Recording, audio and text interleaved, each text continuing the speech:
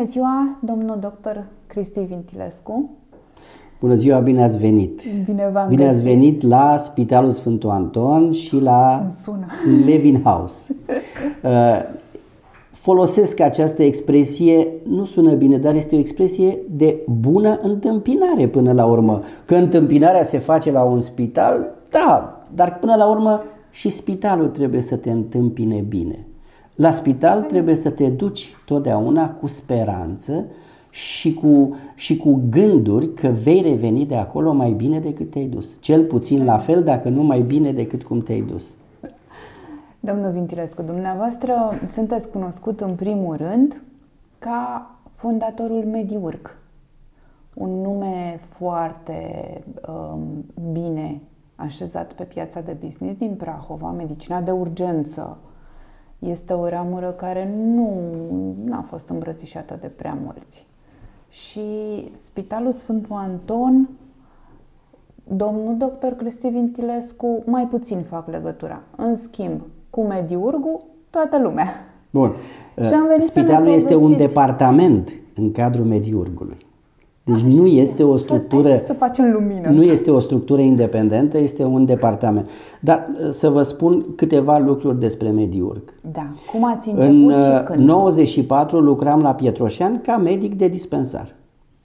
Și m-am gândit să fac o structură medicală care să ducă serviciile medicale din spital, policlinică, la domiciliul pacienților. Pentru că foarte mulți dintre ei nu se puteau deplasa sau nu aveau cum să ajungă la aceste structuri. Și atunci am inventat această construcție comercială, privată, Mediurg. Cam o săptămână mi-a luat să-i găsesc numele. Pentru că mai erau câteva structuri medicale și uh, trebuia să fie o diferență clară între ceea ce gândeam eu să fac și celelalte. Și atunci am asociat medicina cu urgența. Iar din această asociere a ieșit Medi-Urg, medicină de urgență. Nu am știut atunci încotro vor evolua lucrurile. Aveam dorință, aveam știință, aveam putință, n-aveam bani. Deci așa am început, cu dorință, cu știință și putință, dar fără bani. Uh, Am început într-o garsonieră Se poate cu o începe Dacia. fără bani? Se poate începe cu bani cu o condiție, să fii Fără. bine pregătit. Uh, Se poate începe fără bani, cu condiția să fii bine pregătit profesional pe domeniul respectiv. Pentru că uh, banii vin după aceea.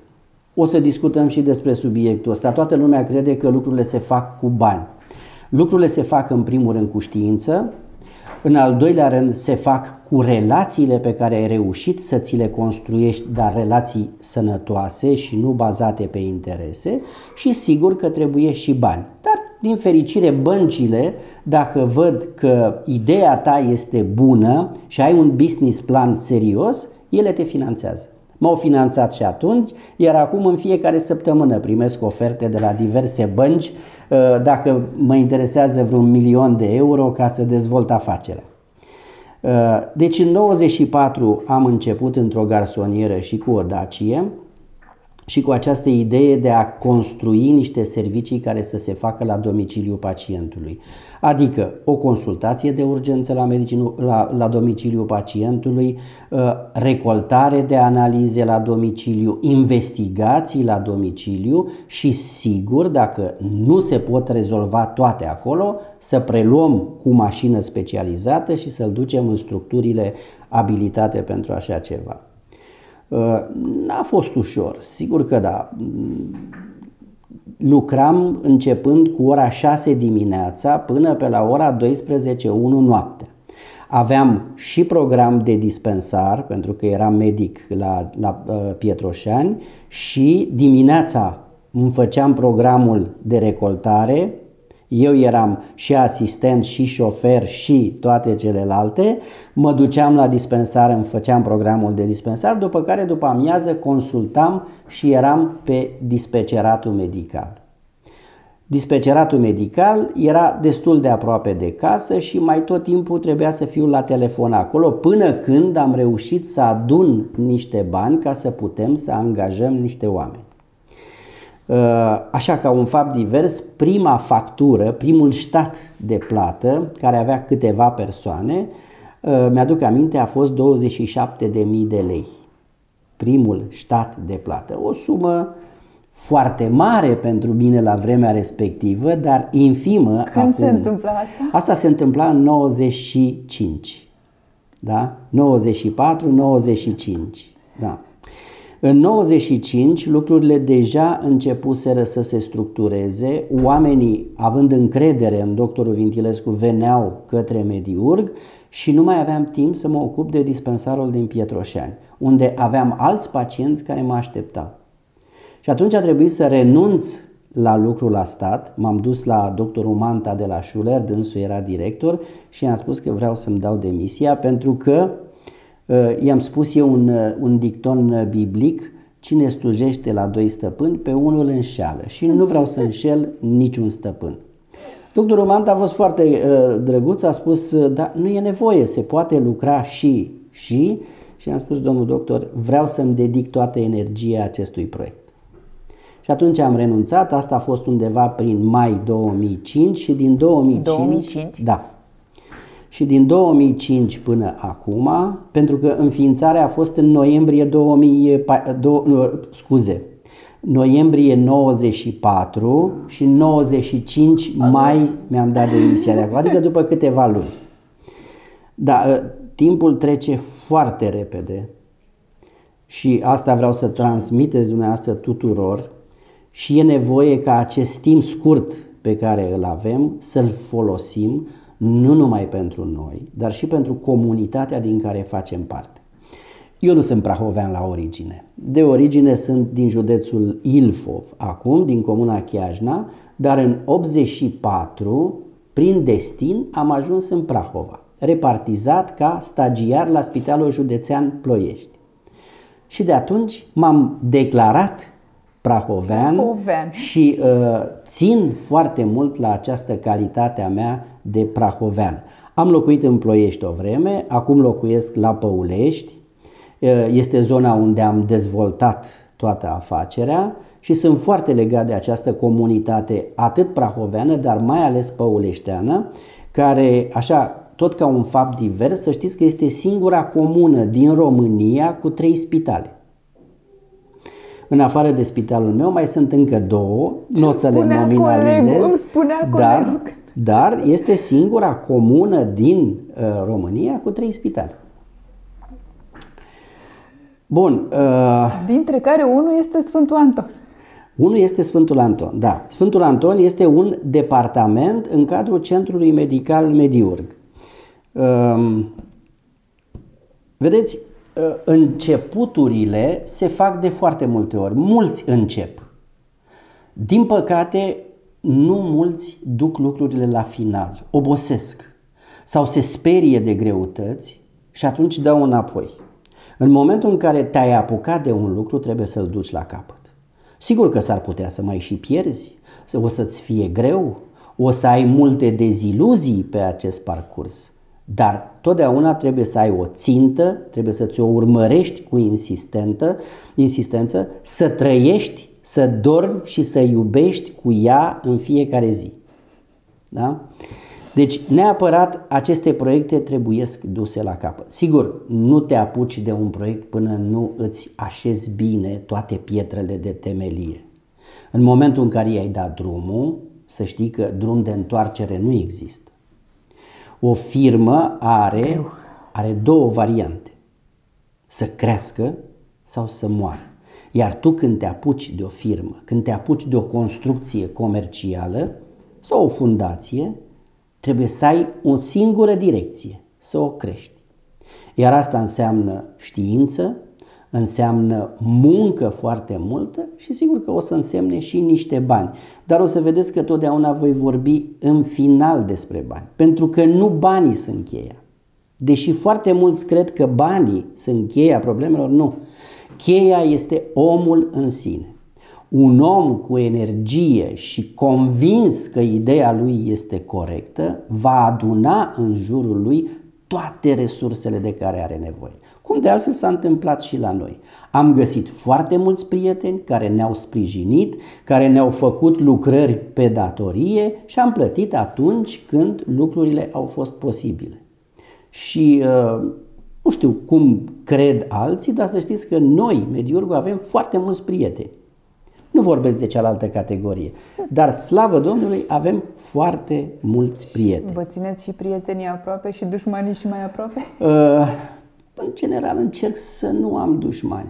Adică eu personal nu vreau să fiu cu nimeni în această relație, iar ținând cont și de vârsta pe care o am, ar fi ultimul lucru care să mai treacă prin minte că nu mai am timp să mă împac. Așa că îmi doresc numai relații pozitive.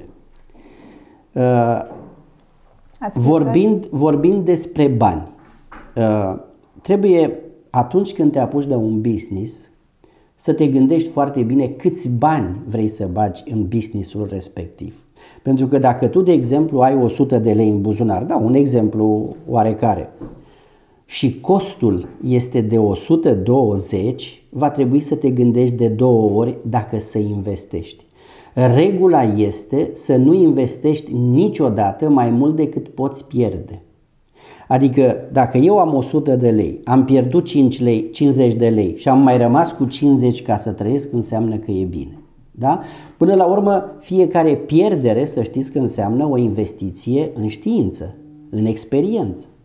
Cine crede că pierderile sunt doar niște, uh, uh, cum să spun, eșecuri, greșește. Orice pierdere înseamnă o investiție în experiență, din care tu ești obligat să înveți. Corect. Dacă n-ai învățat, ești condamnat să o repeți și atunci falimentul este uh, sigur. A doua regulă este să investești, dar nu mai mult decât îți poți permite tu ca persoană sau ca familie să pierzi, pentru că altfel intri în criză. Ori o criză este foarte dăunătoare. Uh, nu se iese ușor din criză. Dintr-o criză se iese greu și aici e știință, iarăși înseamnă foarte multe uh, sacrificii și foarte multe renunțări ca să poți să depășești un moment de curbă descendentă din aceasta. Dar se poate. Cum ați ajuns? Vă că ați pornit de la o garsonieră și o mașină. Unde um, ați ajuns acum? Unde am, cum am ajuns aici? Uh, nu, unde? Întâi îmi spuneți unde și după aia îmi spuneți cum. Am început în Ploiești. Da? Um, am început în Ploiești, aveam o garsonieră și o Dacia 1300. Uh, Dacia 1300 era o mașină berlină. Cei care știu mașinile de la vremea aceea și aduc aminte ce importante erau daciile pentru români.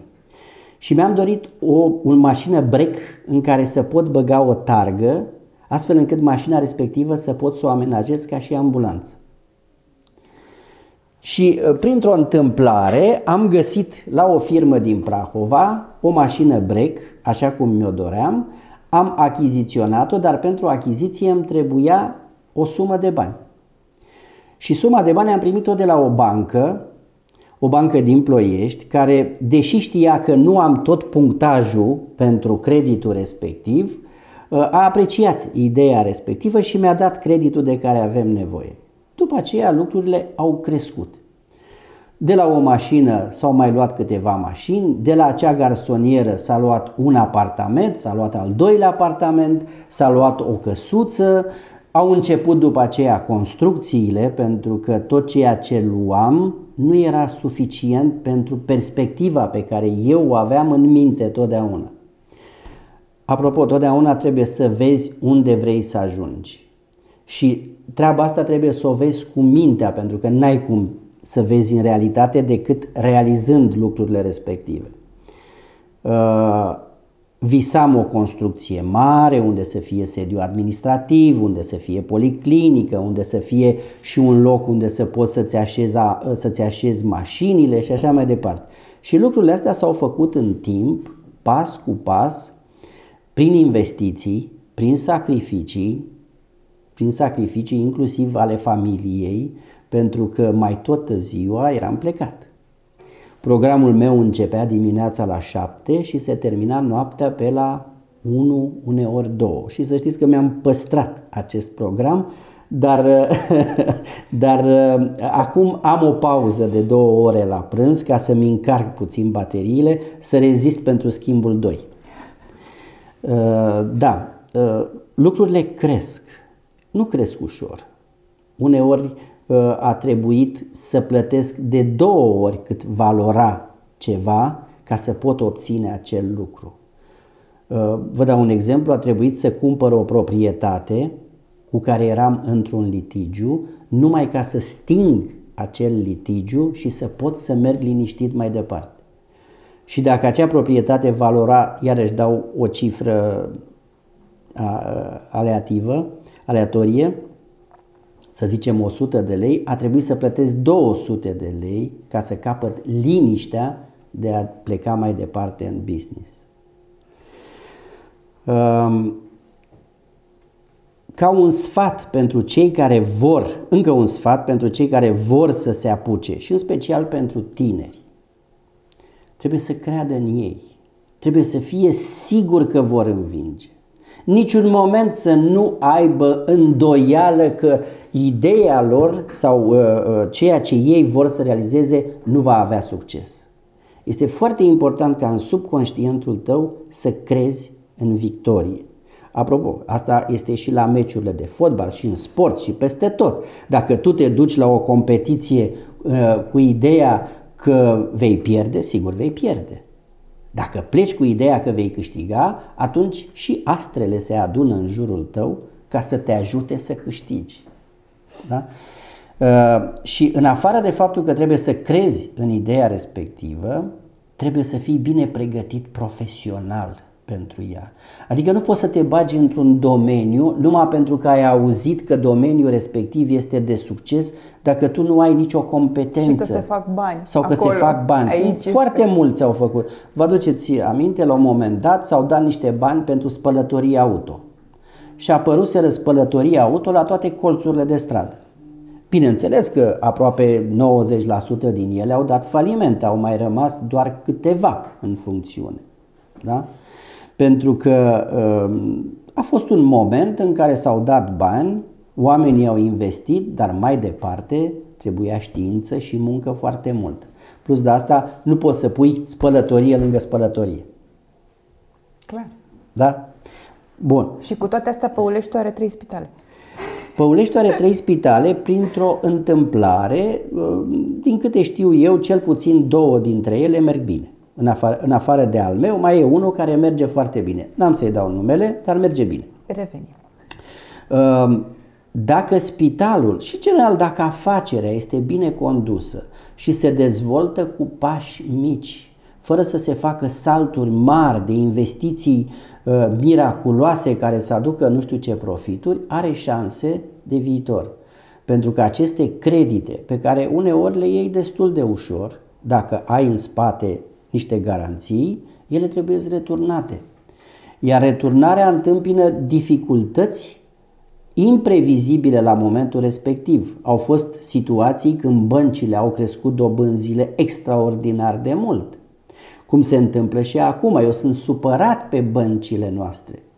Deși primesc uh, niște credite cu dobânzi mai, mic decât ale, mai mici decât ale pieței, dar cum să concurez eu cu o structură multinațională care ia credit cu un 1%, iar eu iau creditul cu 8%?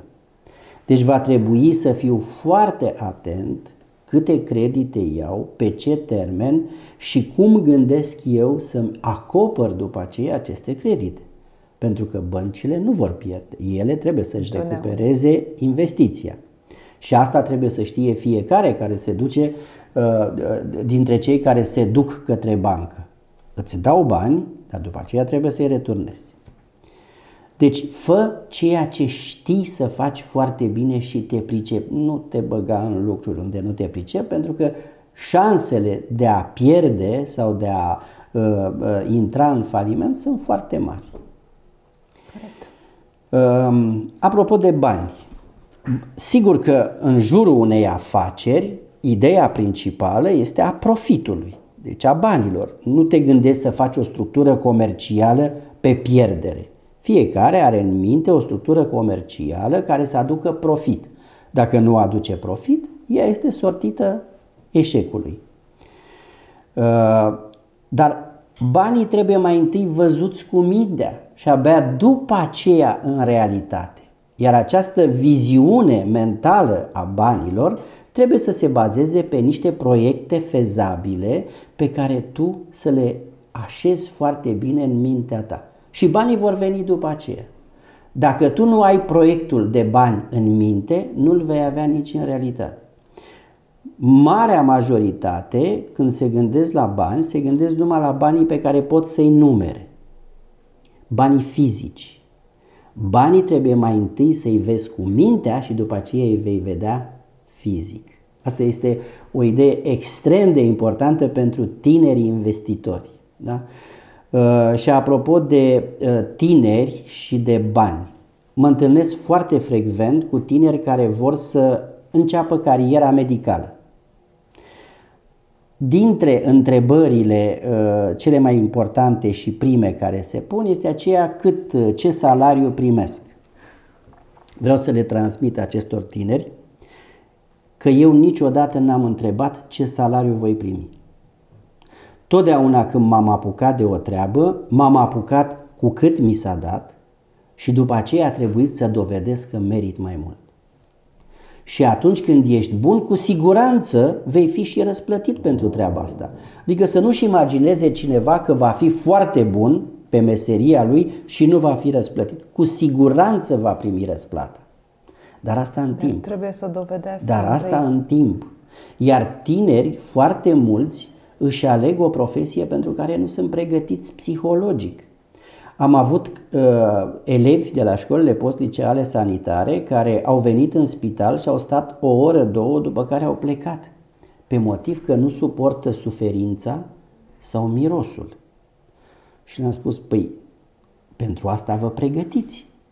Un spital care are pacient imobilizat va avea nevoie de persoană care să îl igienizeze și atunci inclusiv tu ca asistent medical trebuie să faci treaba asta.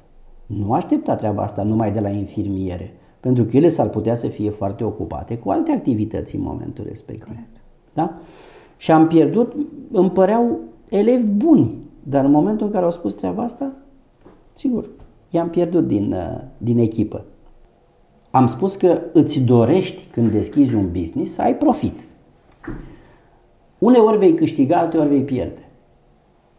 Niciodată un business nu este numai pe câștig. Cine crede că un business va fi numai pe câștig, este în mare eroare și are toate șansele să nu reușească. Trebuie să fii pregătit și pentru vremuri când pierzi. Vei avea momente de câștig, vei avea momente de pierdere, dar momentele de pierdere trebuie să fie lecții pe care să nu le repeți și din care să înveți cum să ajungi din nou în câștig. Iar asta înseamnă știință și pregătire managerială. Uh, pot să vă spun că am cheltuit sute de mii de euro pentru aceste lecții manageriale pe care a trebuit să le învăț. Unele din pierderi, altele prin diverse cursuri pe care le-am făcut în diverse instituții din țară și din străinătate pentru a învăța. Niciodată nu, e, nu știi suficient. Niciodată nu ești pregătit pentru toate situațiile care pot să apară. Da? N-ai cum să fii pregătit. Dar ai un bagaj de experiență pe care trebuie să-l folosești și din el să extragi ce este mai potrivit pentru momentul respectiv. Corect. Uh, acest, această știință nu vine din neant. Știința vine din lecturi foarte multe din participări foarte multe la cursuri și la conferințe și mai ales din experiența celor care știu. Se spune că dacă vrei să faci bani, neapărat trebuie să stai pe lângă oamenii cu bani. Ar fi o prostie să vrei să faci bani și să stai pe lângă oamenii săraci. Nu vei învăța nimic de la ei decât sărăcia. Deci va trebui să stai pe lângă oamenii care știu să facă bani și să înveți cum să faci bani. Uh, mulți dintre oamenii de afaceri de succes au plecat de foarte jos și respectând acest principiu. Și pot să vă dau un exemplu românesc care este Țiriac. Țiriac este plecat dintr-o familie foarte modestă, care a înțeles că trebuie să capete experiență pe lângă oamenii cu o anumită condiție socială, a stat pe lângă ei, a învățat și este poate unul dintre, uh, în primii trei, dacă nu poate primul om de afaceri din România, la ora actuală. Un exemplu. Um, totdeauna trebuie să ai grijă cu cine te asociezi uh, și dacă te asociezi. Pentru că o asociere înseamnă împărțirea riscurilor, dar și împărțirea deciziilor. Ori nu totdeauna decizia partenerului este cea corectă. Tu s-ar putea să ai o viziune foarte bună, corectă și partenerul tău, care și el e convins că viziunea lui, să aibă o viziune proastă. Și din această competiție de viziuni s-ar putea să nu iasă nimic. Deci, după părerea mea, cel puțin la început e bine să pleci singur. Să-ți verifici tu ceea ce poți și în momentul în care ești de succes, atunci poți să te asociezi cu cineva de succes sau să rămâi în continuare singur. Dar e foarte important să ai pe lângă tine oameni care gândesc ca tine, care muncesc ca și tine și care sigur nu așteaptă imediat răsplata, pentru că răsplata nu vine imediat. Uneori vine după foarte mult timp și mulți obosesc în acest timp și lasă lucrurile baltă. Da. Uh, deci trebuie să ai grijă cu cine te asociezi și trebuie să ai grijă și de cei pe care uh, îi păstorești, de angajații tăi. Pentru că cea mai mare avere a unei firme sunt angajații. Dacă ai angajați buni, de calitate și lucrurile merg bine. Dacă nu, fie vei avea fel de fel de probleme, fie va trebui tu să muncești de foarte multe ori mai mult ca să poți să acoperi incompetența sau lipsa de pregătire a celorlalți. Acum, noi suntem într-o societate paradoxală. România este o societate paradoxală. Din câte se spune, suntem chiar singura. Este singura țară în care statul plătește mai mult decât privatul. Deci este, uh, este o realitate. De exemplu, în domeniul medical.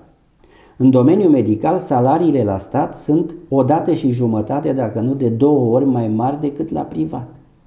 Sigur că atracția pentru sistemul de stat, sistemul public, este foarte mare și acum Dar privatul... nu a fost întotdeauna așa? N-a fost întotdeauna așa, de vreo 5 ani este așa. Exact. 2017-2018.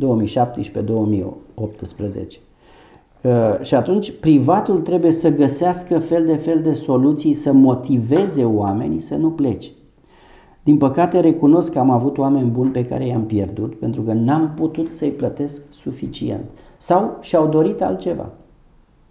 Va trebui însă totdeauna să ai o pepinieră, totdeauna să ai o grădiniță unde să îți formezi oameni de calitate.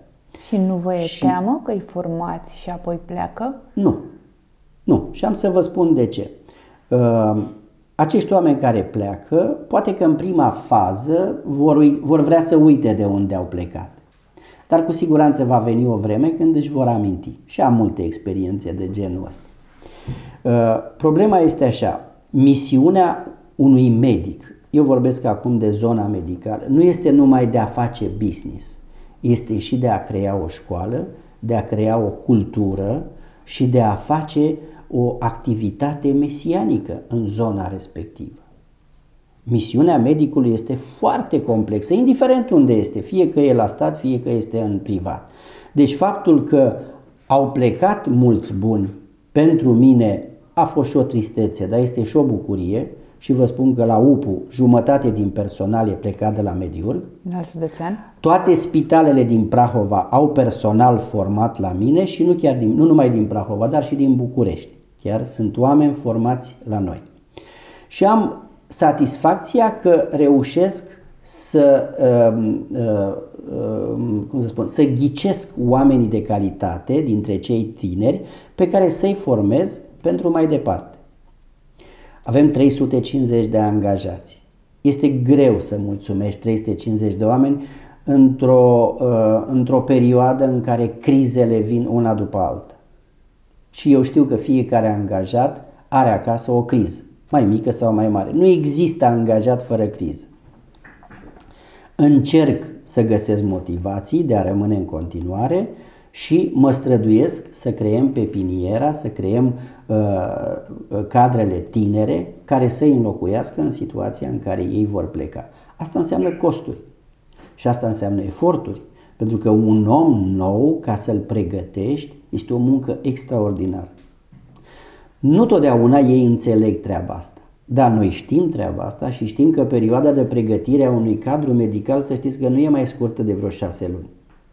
Iar nivelul de pregătire care vine acum din școlile postliceale, și o spun cu mare tristețe, este foarte scăzut. În ce sens? Adică nu știu mare lucru. Profesional. Profesional vorbesc. Profesional. Se mai uh, face? Baza este, uh, baza este în meseria noastră anatomia, fiziologie. Dacă nu ai această construcție de bază bine așezată, e foarte greu să faci o medicină de calitate. Vei face niște scheme prestabilite și să spunem că vei fi bun pe chestia respectivă, dar nu vei fi un cadru medical de succes. Ori pregătirea din aceste școli este atât de scăzută încât uneori chiar mă întreb cum s-a luat acea diplomă. N-am să dau exemple de școli, n-am să dau exemple de situații, dar să știți că sunt din ce în ce mai multe și în toate domeniile, Asta nu numai spun, în zona nu numai medică, în toate domeniile, pentru că atât școala, dar mai ales persoana respectivă, nu mai are acea dorință de perfecționare. Noi am crescut în spiritul competiției. Generația mea a crescut în spiritul competiției. Noi știam că avem concurență și încercăm să fim cât mai buni. Dacă putem să depășim concurența... Și avem obstacole. Și avem obstacole. Că ne-au ajutat obstacole. Ei, ei nu își doresc să fie foarte buni. Pentru că în momentul în care îți dorești trebuie să și muncești foarte mult și ai și foarte multe privațiuni în momentul respectiv. Iar ei nu vor privațiuni. Generația tânără, în majoritate, nu vrea privațiuni. Vrea să, să guste numai partea frumoasă, partea bună a vieții. Da, da, asta pleacă din educație, nu este final. Asta pleacă din foarte multe. Și eu am, eu am spus și o, o repet, familia este principalul factor vinovat și de succes, dar mai ales de insucces. Da? Pentru că baza se produce în familie. Noi, generația mea, a fost generația care trăiam în casă două, trei generații. Erau străbunicii, bunicii uneori, chiar patru generații, părinții și noi. Și aveam avantajul că bunicii erau cei care aveau grijă de educația noastră pentru că părinții erau plecați la muncă. Generația de acum trăiește doar cu părinții, părinții sunt plecați la muncă, iar ei sunt lăsați în formare pe grădinițe și pe școli. Ori este o eroare, școala și grădinița nu vor putea să suplinească rolul familiei și mai ales familiei de tip, uh, uh, de tip patriarhal. Dar asta este situația, aici suntem și uh, încercăm să găsim soluții și să găsim cele mai bune elemente care ies din aceste sisteme. Um, da, greu. Greu de un lucru, un lucru foarte important pentru un uh, angajator, deci tinerii vor face o afacere, uh, vor visa banii și vor începe să-i producă, vor avea grijă să-și aducă niște colaboratori de calitate, trebuie să fie foarte grijulii la modul de, asupra modului de comportament cu ceilalți. Niciodată nu trebuie să fie aroganți sau să-și privească angajații și colaboratorii de sus. Asta este una din greșelile care se fac. Suntem într-o firmă, fiecare are responsabilitățile lui și fiecare este important. Vă dau un exemplu de spital. Infirmiera mea de spital este extrem de important. Asistenta n-ar putea să-și facă meseria dacă infirmiera nu n-ar fi acolo și nu și-ar fi curățat bolnavul. Deci ea vine Corect, după ce infirmiera și-a făcut treaba. Sigur, asistenta are rolul ei, este importantă, medicul are rolul lui, sistemul administrativ, contabilii și toți ceilalți au rolul, toți sunt importanți în felul lor. Deci trebuie să ai pentru fiecare o vorbă bună și să fii atent cum reușești să mulțumești persoana respectivă. Cum v-am spus, sistemul privat are multe probleme în momentul ăsta pentru că e greu să mulțumească în condiții de criză. Este foarte greu.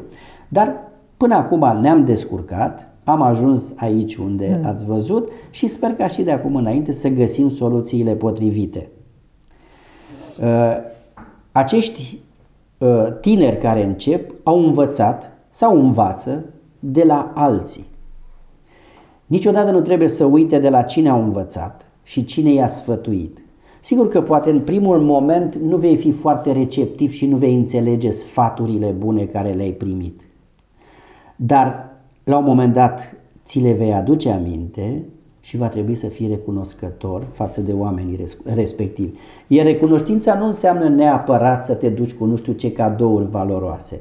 Un simplu mulțumesc sau un telefon de la mulți ani în anumite perioade ale anului este foarte important. Um, în business niciodată nu termin de învățat. Cine crede că a deschis un business, a ajuns în uh, culmea afacerii și din momentul acela poate să se retragă și să-și savureze victoria, face o mare greșeală. În momentul în care ai ajuns în vârf, ești țintă.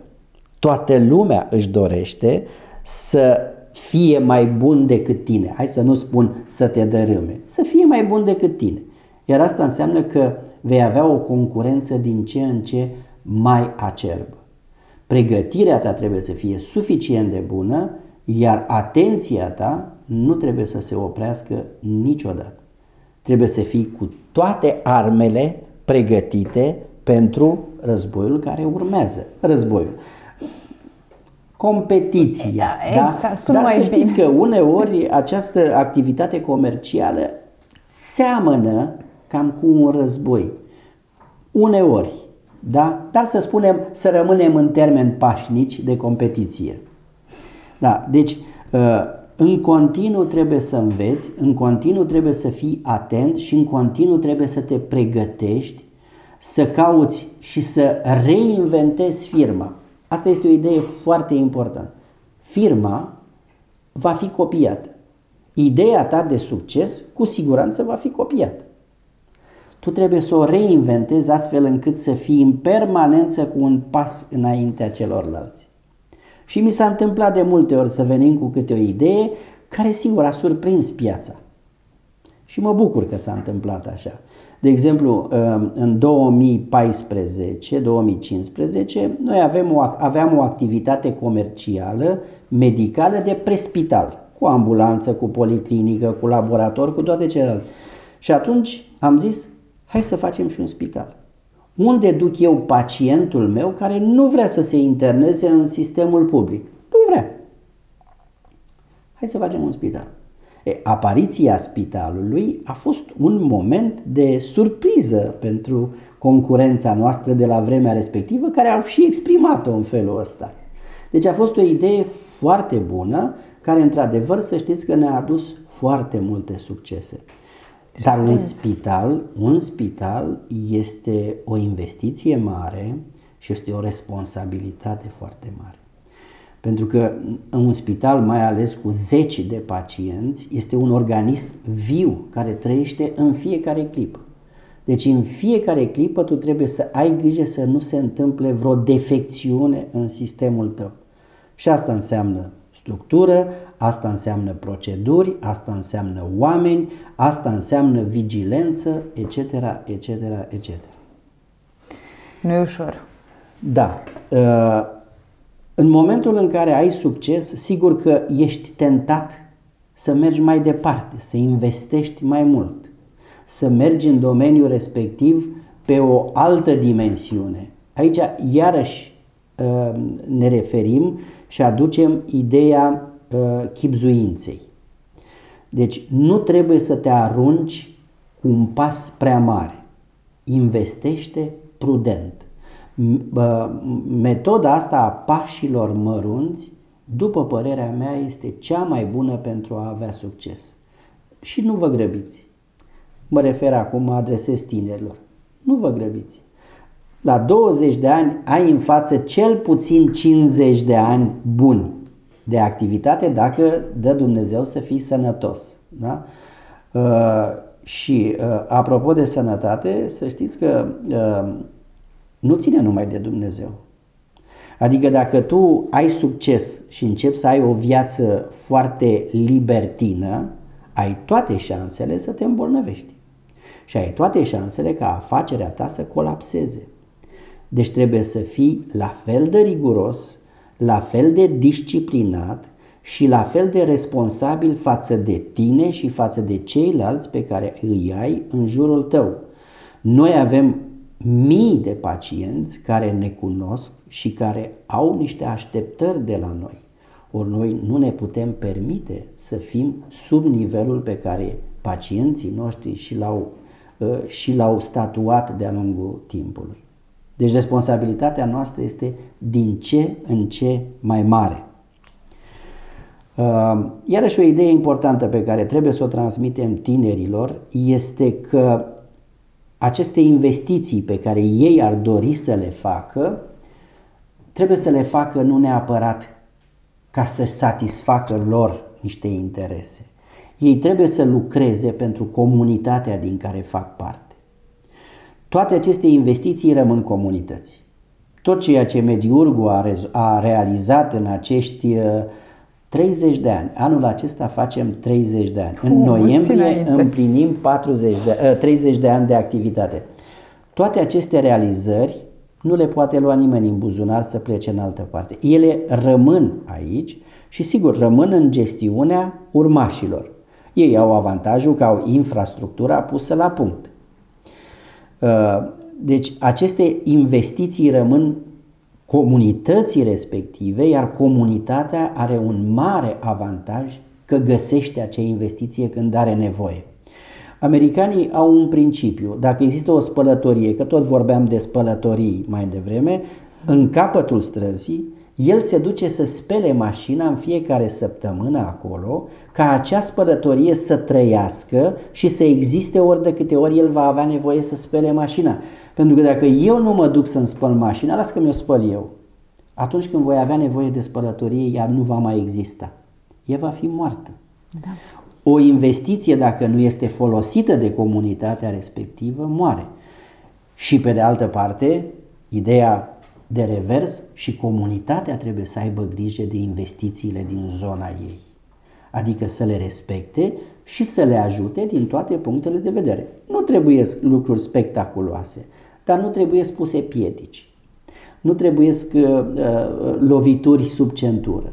Trebuie ajutați să-și facă treaba, să se dezvolte și să poată să dea taxele și uh, impozitele în continuare către comunitate și către stat.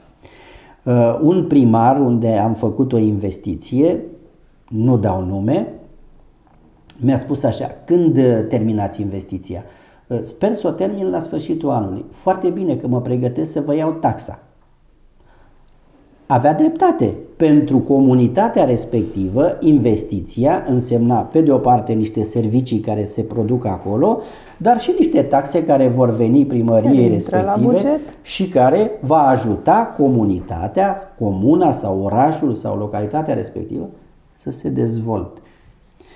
Corect. Și din când în când acești mici investitori care sper să devină mari, deci cei care ne urmăresc ă, tuturor acestora le doresc să devină mari, să nu uite că din când în când trebuie să facă și gesturi de bunăvoință către comunitatea respectivă, prin anumite sponsorizări, prin anumite acțiuni gratuite, prin anumite activități de ajutorare a unora care au neapărat nevoie de așa ceva și așa mai departe.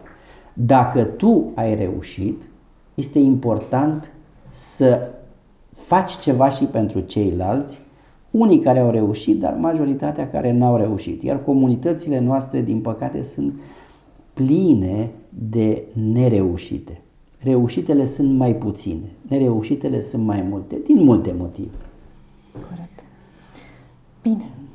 Domnul doctor, uh, în încheiere, ce credeți despre viitorul unui tânăr în Prahova dacă ar avea șanse să-și deschidă aici o afacere și cât de, cât de bine este să se orienteze spre comunitatea locală, spre noi, nu spre alții. Afara nu spre alții. Spre, nu spre alții.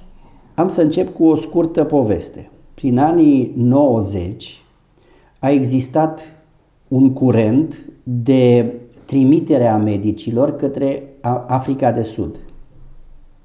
Republica Africa Sud-Africană. Mm-hmm. Foarte atractiv. Da, nu doar S-a... medici, au fost atunci mulți... Uh... Vorbesc de, vorbesc mm-hmm. de mhm. medici pentru că inclusiv eu am fost uh, uh, anunțat de acest proiect și dacă sunt interesat să merg acolo. Atunci, ca și acum, spun un singur lucru. Uh, sunt format în România și am o responsabilitate față de România. Deci nici nu se pune problema să plec vreodată din această țară. Deci tinerii noștri trebuie să știe că cel mai bun viitor pentru ei este la noi. Dar să nu-și imagineze că este ușor. Nici afară nu este ușor. E un miraj. Eu am foarte multe exemple de oameni care s-au dus afară, n-au reușit să facă mare lucru, dar au o reținere să se întoarcă. Poate că și noi suntem de vină că nu știm să devenim atractivi pentru cei care vor să vină înapoi. Și aici spun noi, guvernanții noștri. Trebuie să facă niște eforturi. Deci, uh, rămâneți aici, investiți aici, dar investiți chipzuit, băgați-vă unde vă pricepeți, investiți câte puțin, pas cu pas, adunați-vă pe lângă oameni care știu ce au de făcut și sigur munciți foarte mult. Fără muncă nu se poate. Orice câștig care apare peste noapte va avea în spatele lui un mare eșec. Și luați, avem avem un exemplu extraordinar în România cu o persoană care la un moment dat era pe toate posturile de televiziune și uh, arăta luxul în care trăia. Se numea Columbeanu și se numește. Și care era foarte invidiat la vremea respectivă pentru averea lui de vreo 150 de milioane de euro. Spun gurile care se pricep. Omul n-a știut să-și drămuiască cheltuielile și acum este într-o situație destul de dificilă. Grea.